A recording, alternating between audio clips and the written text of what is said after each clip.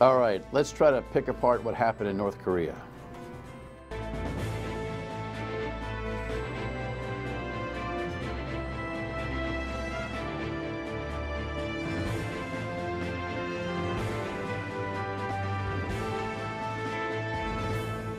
The Dan Yorke State of Mind program is brought to you at part by Lookout Rhode Island and Taco Comfort Solutions. Or I should say in Vietnam, as it pertains to North Korea. Welcome into the Friday show. Thanks so much for tuning in. You know, on Friday's show, we kind of spread out the issues, whether we're kind of goofing off or trying to figure out something important. Um, we tape the Friday shows on Thursday, so in case something blows big here on Friday, we'll catch up on Monday on that. We also plan on Monday to take a look at what's happening in Warwick with its finances, because reportedly they're kind of in a deep hole. In the meantime, uh, North Korea is something that we didn't get to last night with my guest Timothy Edgar as we talked mostly about the Michael Cohen hearing. I do at the end of our program tonight want to uh, bring up something that happened at the Michael Cohen hearing that I thought was just, I mean, retro and dumb. Uh, we'll, we'll, we'll see if we can sneak that in. But the North Korean situation is, is pretty deep. Headline from uh, two nights ago for you Trump Kim summit, uh, no agreement. Some headlines use the words collapsed. And so I'm sure the president didn't want to hear that. Uh, collapse generally comes with the word failure. I'm not necessarily sure that the collapse wasn't a good thing. I haven't picked Tim's brain on this. We do everything extemporaneously here, but I'll be interested to see what he thinks about that. In the meantime, earlier this week, Professor Mark Genest from the Naval War College, who speaks for himself on these matters, uh, was here as we previewed the North Korean summit, and he was he was concerned about something that might happen with the president. I am afraid, as an incentive, that Trump will, accept, will say, okay, we can have a formal ending of the Korean War, which is something the North Koreans really want, mm. in exchange for promises only. And the North has done that repeatedly in the past. You have to have firm commitments that are verifiable um, and that you can uh, enforce. Yes. Um, doesn't look like that happened. Right. So I think that I agree with that 100%. And so I think that the substantive outcome is a good one, that we did not make uh, concessions to the North Koreans that were unwise. Uh, they wanted um, some significant you know, carrots that we had in our back pocket, lifting of sanctions, ending the Korean War, those kinds of things. Um, and I think there were a lot of people who were worried that Trump might just give these carrots away um, in order to uh, you know, get some praise, uh, maybe get the Nobel Peace Prize, um, and, and, not get the kind of verifiable, you know, commitments to not just commitments but reality of dismantling uh, North Korea's nuclear weapons program. Uh, Timothy Edgar is a professor at Brown. Has worked for both uh, sides of the aisle in Washington. He's a cybersecurity expert. His book is Beyond Snowden. We'll make sure there's a link on our website at foxprovidence.com so you can see uh, and, and, grab the book. It's been uh, out for what a year now or so. That's right, and it's and doing well. It's doing very well, and uh, won the Roy C. Palmer Civil Liberties Prize from the Chicago Kent Law School. So I'm glad which, which is very cool. You're really I was uh, very gratified to hear. Well, and for those of you who are always thinking that Big Brother and government's creeping on you, this is a very informative, uh, nonpartisan, right down the line expertise explanation in layman's terms of all the stuff we have to worry about from our phones to our watches to uh, right. uh, I know he's got the watch from last night because it went off. Um, a lot of lot of things we got to be concerned about out yeah, there. That's right. It's it's complicated. I tried to make it as easy to understand as possible without dumbing it down. Yeah. So the book is called Beyond Snowden. Make sure that you pick it up. In the meantime, uh, you listed a couple of things that everybody who was worried was worried about with this summit. I think there were a lot of folks who were concerned that the president may want to steal the headlines away from the Michael Cohen hearings. We had talked yesterday uh, about the timing. I thought the Democrats misplay. The Republicans just played poorly all the way through that hearing. We may get to that later in the broadcast. But I thought the Democrats should have waited a few days and, and let the let the story evolve in Vietnam with Kim Jong Un. So we had kind of a split focus. Do you agree? Um, I think up to a point. I mean, they do have to do their oversight. If you look at uh, Richard Nixon, his defenders sometimes would say, let's not wallow in Watergate because the president has too much important stuff to do with Vietnam. Mm-hmm. Um, and that was an excuse. You know, obviously the Congress has to take its constitutional responsibilities. If you can delay it a few days and there's no harm, then sure. I think it's always better when you're performing a constitutional function like that to do it very seriously and to make it clear to the public you're doing it for the right reasons and not for political reasons. Ironically, uh, guess where they were this week? That's Vietnam, right. That's right. In Hanoi, which is doing very well. And I'm sure Kim Jong un took notice that it was doing very well economically. That's, that's absolutely right. And I think, you know, that's part of why we have a lot to offer to North Korea, which is uh, essentially they would like to break out of their isolation. The problem is they also want to keep their iron grip on power. And, and, and the regime there thinks that nuclear weapons are the linchpin to keeping their iron grip, that that keeps them safe, that nobody's going to mess with them if they have nuclear weapons, and so they don't want to give them up. Uh, but we, we can't you know, offer some kind of big deal like that if they don't, because that's what we need for, uh, for our security interests. So the, the format of this get-together was, was interesting. A couple of you know, social visits along with uh, what reportedly was a one-on-one, again, with Kim Jong-un. Uh, but I guess this time he was backed up. Mm -hmm. and, and the president didn't come out and report out on his lengthy one-on-one, a la what he did with Putin, Putin in Helsinki. He seems to think that because Kim Jong Un is such a titular head, that he didn't want to waste time with preliminary negotiations. Some wise people say, yeah, but you play that game and it doesn't go well, you got nowhere left to go. I think that's where the failure was. Uh, in other words, I'm glad we're not in a bad deal with North Korea. That's, that's much better than if we were in a bad deal with North Korea. But this summit should never have taken place. I mean, there, there, the adequate groundwork was not laid. It seems to me that he was just looking for headlines and looking for, you know, something to, uh, to, to, to, to, show us. Um, you know, it struck me when we were talking about Michael Cohen, uh, the Nixon parallels. You know, Nixon ended up being forced to resign from office. Uh, his Secretary of State got the Nobel Peace Prize.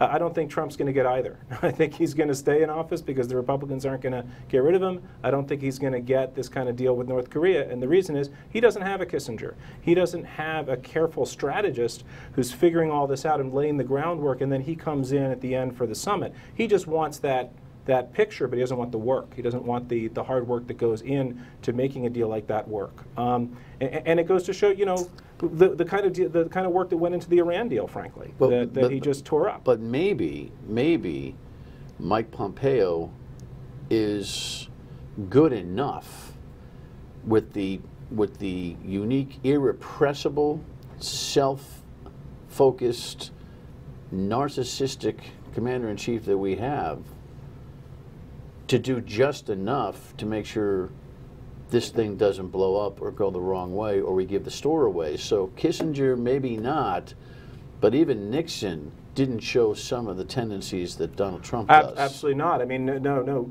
Look, Donald Trump makes Nixon look good on a lot of levels. Um, the man was actually, for all of his flaws, I mean, I mean Nixon, a, deep strategic thinker, and and you know he legitimately deserves a lot of credit, not just uh, Kissinger. Uh, with with Pompeo, you know, he seems to have succeeded in preventing a disaster. But in terms of actually achieving something, uh, I, I, think that seems very elusive. Yeah, but here's the thing. Uh, well, you know what? We'll talk about when we come back. Uh, we have to pause here. Uh, there are different measurements for success. This Secretary of State may be really key to keeping the finger in the proverbial, you know, dike here because it could get worse. Stay with us. So just to refresh you, here was uh, yesterday's midday summary of what happened in Vietnam.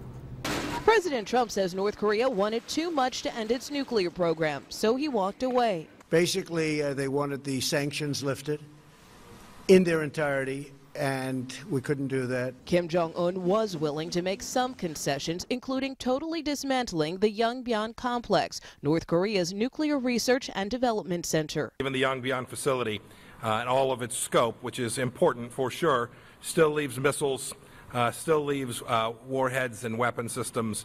Um, so there's a there's there's a lot of other elements that we just couldn't get to. The North Koreans were not willing to allow inspectors in to verify their steps to denuclearize. The leaders of South Korea and Japan say they spoke by phone with President Trump after the summit. Both say the president remains committed to following through on more talks in the future. General Vincent Brooks, a former commander of U.S. forces in Korea, tells CBS News that the process takes time. North Korea is a country that doesn't understand trust. It doesn't have trust internally, and it doesn't have trust experience externally. And so we shouldn't be surprised that they tripped here. And he pointed out that it has been 450 days since the North Koreans last tested a nuclear missile. I'm trying to figure out what the success equation is uh, for, for Donald Trump in this particular case. So watching that uh, only reinforces this concept that you and I have been talking about and that uh, Mark Genest and I talked about earlier in the week, which is that this whole thing is so cart before the horse that all of this stuff that North Korea would or would not do certainly should have been crystal clear before Donald Trump went over there. Right. Uh, when you give a foreign leader uh, the platform of sitting down in a high profile way with the President of the United States, you're giving that foreign leader something that they really, really want. So you don't want to give that away until you've laid the groundwork uh, for some kind of progress. We need to get something out of that. I think that was my big concern with this summit and, and with the whole relationship actually between uh, Trump and Kim Jong un. It, it's, it's, you know, frankly, uh, astonishing the kinds of, you know, things that Trump says about, you know, him and other authoritarian leaders. And um, it gives him so much of what he already wants uh, without having to give us anything at all. Well, he's it's so it's amazing. He's so transactional, and thinking that it's all about just a, you know, bull session. Right. That that he can he can do it in in, in that scope. He seems to have no uh, respect or understanding because he's such a disruptor of what it takes to bring these things home and how cool it is for North Korea's leader to meet with him. He Right. dumbs down the country's earned dominance. That's right. That's right. I mean, did we see, you know, uh, Obama flying around giving huge photo ops to the Iranian leaders during the negotiation over the Iranian deal? No, because they knew that that would be something that they would value. So instead, you had painstaking negotiation over a long period of time and real, you know, test of, of verifiable uh, disarmament before you would start to, uh, you know, to, to, to make the deal work. Um, and, and that's what you need. You can't, there's no short circuit, there's no shortcut uh, to these kinds of peace agreements. And I think that's part of the problem is that what uh, President Trump wanted is a shortcut. He wants, you know, the glossy headlines, he wants the big summit, he wants the handshake, he wants to sign something. Um, thank God he was able to be persuaded, well, this isn't going to happen uh, because they're, you know, we don't have a, a deal, and, and he called it off. Um, but you know, really, there was no reason to have done this in the first place. It's almost like you see Mike Pompeo in that in that in that story, and you see Donald Trump nodding next to him as if Donald Trump, you know, again, I'm making some Yeah. assumptions here, but just based on track record, as if Donald Trump had just kind of learned that stuff and and was was affirming that he had been sold on the concept, literally in Vietnam, like, hey, boss, you can't do this. Right, right. You don't do this. Th- They don't get to take away one nuclear plant we know about and keep a bunch of other weapon systems and not let inspectors in and all of that stuff. You know that that's just not going to fly. And, and just don't get me wrong here. I think we should be talking to the North Koreans. I think that is an absolutely essential and vital effort. So I'm not saying that that shouldn't be done. I'm saying that the big team to summit team, meeting. though.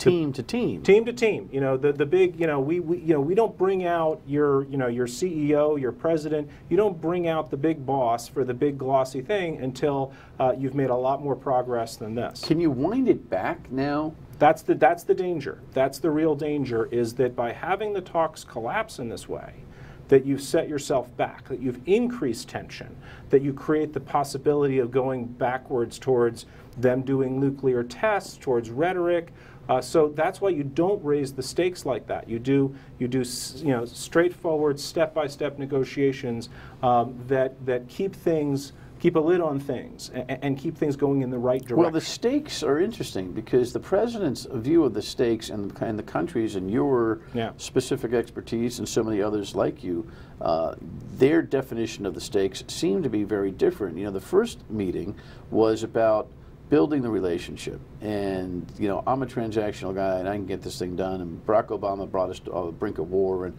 look at me, I'm gonna I'm gonna schmooze this guy, and he's a good guy, and la la la. la. Okay, well, you give him that one. But this one failing uh, to bring some kind of discipline from North Korea and some verification, what then, in this team to team concept that you and I've been talking yeah. about, what is the chance that it can now be delegated? Does he understand this time around you can't put your head in the guillotine? You can't be 11 feet out on a 10 foot board here. Right, right. Can we get back to team to team? well, I hope so. I mean, Because international. that's where the conversations need to be. The, the big problem here is that international diplomacy is not a reality TV show. You know, we had our summit, everything went well. Now we have another summit, everything goes poorly. Now what's what's the next episode going to say? you know, no. You want things to to be as boring as possible. You know, you want people to be you know having their eyes glazed over when they read about this kind of stuff in the paper. And, and I think that that's a concept that I don't think uh, President Trump gets. Uh, like you said, he's a disruptor. He, you know, he sometimes you know those kinds of unpredictability things can work, but they're they're risky, and you don't do them for no purpose. And he can't walk away without rubbing Kim Jong Un's belly. Here's a headline on this young man's death that the Otto uh, Warmbier's story. Uh, this is this is maybe a lower level, all due respect to the life of Otto, but I'll take him at his word. It's very replicate of the Putin versus his own intel agencies. Yeah. Uh, the Khashoggi journalistic situation, you know, loss of life Turkey and the Saudi Arabian embassy, and, and, and the Saudi prince more or less saying, "I boss, not me." I mean, he, he, this this propensity to just buy the bad actor's behavior is incredible. It's it's disgraceful, and it destroys American moral leadership and credibility. It's one of the most important thing the president has. Uh, this president has shredded it time and time again. This is just the latest example of it. Um, and you, you know what what astonishes me again is the way in which people who know better uh, uh, in his party uh, don't try to rein him in. Uh, they stick with him, uh, defend him. Uh, you know, don't slap him down. If he doesn't get a consequence for these kinds of actions, just like anyone, he, he's going to continue, and he has continued. Well, speaking of embarrassing, uh, I want to check back in on that Cohen hearing one more time. There was an episode there Yeah. that uh, we need to talk about. Stay with us. I don't know if you caught this little episode during the Cohen hearings yesterday. made some very um, demeaning comments about the, the president that Miss Patton doesn't agree with. In fact, it has to do with your claim of racism. She says that as a daughter of a man born in Birmingham, Alabama, that there is no way that she would work for, uh, for a, an individual who was racist. And to indicate that I asked someone who is a personal friend of the, the Trump family, who has worked for him, who knows this particular individual, that she's coming in to be a prop, it's racist to suggest that I asked her to come in here for that reason. That was- That was not my intention, and I do apologize if that's what it sounded like, but I said someone in general. Uh, And as everybody knows in this chamber, I'm pretty direct, so I, if I wanted to say that, I would have, but that's not what I said. Well, let me tell you something. There's a bunch of things going on there. Uh, Representative Tlaib, who's quite the quite Yeah. the uh, um, well, she's an interesting character, no doubt. Uh, I, I yesterday I first criticized her for for for making a run at this uh, without being able to finish it off, and I still feel that way. She made a good point, Yeah. and then she backed off of it under duress, which you know folks can judge that for what it's worth, but the Republicans just doing nothing but exclusively trying to make Michael Cohen liar, liar, pants on fire. Okay, that was bad enough. But that move, Yeah. what what, what did you think It- about that? It, it just doesn't, it makes no c- common sense. I mean, just, I, I thought back to all of the times that I've been with somebody who's made, you know, a racist comment to me. Um, and, and, you know, this is something that's true for most of us, I think, who are white. You know, if there's no if there's no minority, there's no uh, African American or other person in the car with you, and they think they can just say something nasty, uh, and, and and sometimes you call them out, and maybe sometimes you don't. Uh, you know, and, and so what Michael Cohen was saying is, I was in the car with Donald Trump, and he said these things. I, I thought that was completely credible. You know, of, course. I mean, you know, are we surprised by that? I, don't think anyone would be. And then for Mark Meadows to come in and say, well, here's a here's a African American woman who works for him, and he's never said those things around her. Well, of course he didn't. I, I mean, you know, do we have stupid painted on our forehead? I mean, of course, that, doesn't make any sense. And she actually, I, I, I- I made a mistake. We, we tape our Friday shows on Thursday. This happened on Wednesday. So on Thursday morning, um, she was she was continuing. Uh, Lynne Patton. She was continuing to defend her Yeah. actions. I mean, she she doesn't want to admit that she was kind of hooked into something which is so 1970s in uh. terms of I know I happen to that the first time you hear somebody Yeah. say I happen to know a black person or I happen to have one of my best friends is a black person. And he wasn't even saying that. He was saying that I have a, a black employee. I have an African American employee. Like this disproves that I have said some racist things in the past. I mean, that just makes just doesn't pass any kind of test. or feel a certain way. And, and I think that he was doing something that was grandstanding. He was using her as a prop. He was the, the term that we use in the universities these days. He was called out right. and he lashed out as a result of being called out. And frankly, unfortunately, I, I, I really wish Representative Tlaib had not backed down in that way. Right. I think she was trying to be collegial, but I think she should have said, "Look, I'm calling you out on something that's not Well, okay." I think I think she lost her, her gumption. I think Uh, that's right. uh, you know, but the, I have never, in all the hearings I've watched, maybe, I mean, you've been in Washington uh, Yeah. working this stuff, I don't ever remember a human prop. People don't walk behind that thing. They may be called for a witness testimony, they may be in the audience and be recognized, but I've never seen somebody come by and say, hey, take a look at her. Uh, this is an example of what we're trying to prove. It, it, that was just it very just it weird. doesn't prove anything. It's demeaning. It makes no sense. And it was right to call him out on what he was and doing. by the way, Congressman Meadows, at least three times I've seen in the last 24 hours clips of him talking about Barack Obama. Should go back to Kenya. So, you know, and he may have African American staffers, he might. and it, that doesn't mean that you know it's okay. Thank you for all your uh, expertise over the last two days. I appreciate it. We have a final word when we come back. All right, we're going to come back uh, to the local scene on Monday. The city of Warwick has reportedly a significant deficit, and I'm not so sure right now that leadership is up to the task. What with rumors of FBI investigations and the like, I'm not sure how significant that is or not, but maybe we can get some answers next week. Thanks so much for tuning in. You have a great weekend. We'll see you on the radio at 3 until 6 on Monday as well. Good night.